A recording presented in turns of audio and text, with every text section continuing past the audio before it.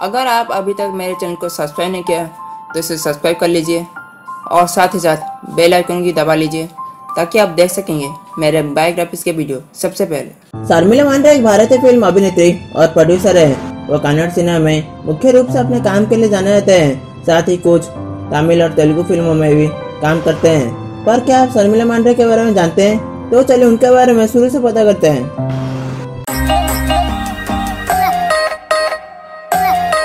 शर्मिला का जन्म 28 अक्टूबर 1990 को बेंगलोर में हुआ था। शर्मिला मांड्रे के पिता का नाम दयानंद मांड्रे है और माँ का नाम मामेला मांड्रे है।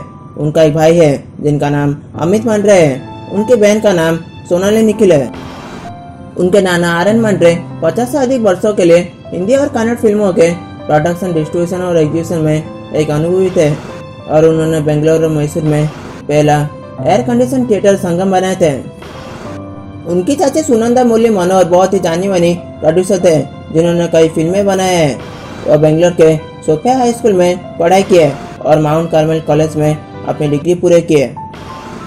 उन्होंने कन्नड़ फ़िल्म सजनी के माध्यम से अपनी फ़िल्म की शुरुआत की है और उनकी पहली व्यावसायिक सफलता फ़िल्म कृष्णा के साथ गणेश के सामने थी। उनकी अन्य फ़िल्मों में दो आठ में नवग्रह, दो नौ में वेंकटेश संकट, दो दस में स्वयंवर शामिल है। 2012 में उन्होंने तेलुगु फ़िल्म दी की रीमेक फ़िल्म निरातल तमिल में डेब्यू किया और फ़िल्म में उनके प्रदर्शन के लिए प्रशंसा मिला। वो तुरंत अपनी पहली तेलुगु फ़िल्म केबू काका को अलरी नरेश के साथ साइन किए थे। दो तेरह में उन्होंने अपना नाम शर्मिला से बदलकर शर्मिला रख लिया। दिसंबर 2014 में यह घोषणा की गई कि उन्हें खालिद मोहम्मद के डायरेक्टर में कथा में नायक का चयन करने के लिए चुना गया था, जो 1983 में रिलीज़ फ़िल्म का रिमेक होगी। यह बताया गया था कि वो दीप्ति नवल द्वारा निभाई गई भूमिका निभाएँगे। उस समय के अंतर के बाद उन्हें 2015 में कन्नड़ सिनेमा में वापस आकर मुमताज़ के साथ धर्म कितराज के साथ काम किए जो एक व्यवसायिक सफलता था।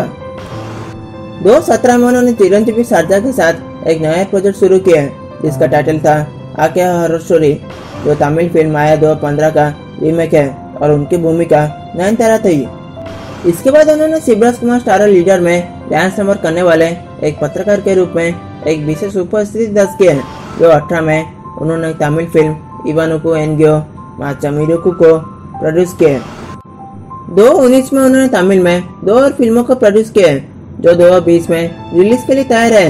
उन्होंने सतीश नीनासम रुक्मिनी विजय कुमार और खुद अरविंद शास्त्री द्वारा डायरेक्टेड उनके बैनर में एक कन्नड़ फ़िल्म भी शुरू किया है। मेरे वीडियो को लाइक एंड शेयर ज़रूर करिए और आप अगर इसे बायोग्राफी देखना चाहते हो तो मेरे चैनल को सब्सक्राइब करिए और बेल आइकन को दबाने मत भूलिए, क्योंकि मैं हर हफ़्ते आपके लिए ऐसे वीडियो लाऊँगा।